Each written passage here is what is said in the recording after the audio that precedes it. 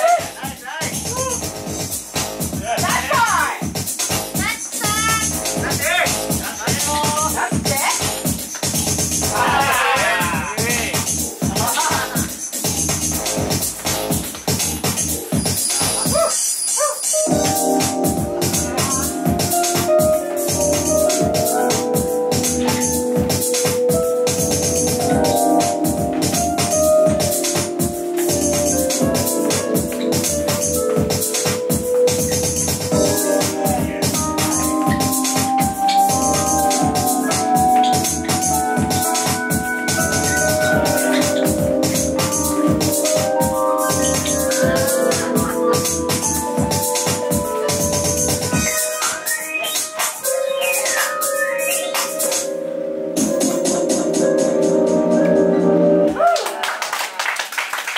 りがとうございます。おッツのお二人でした。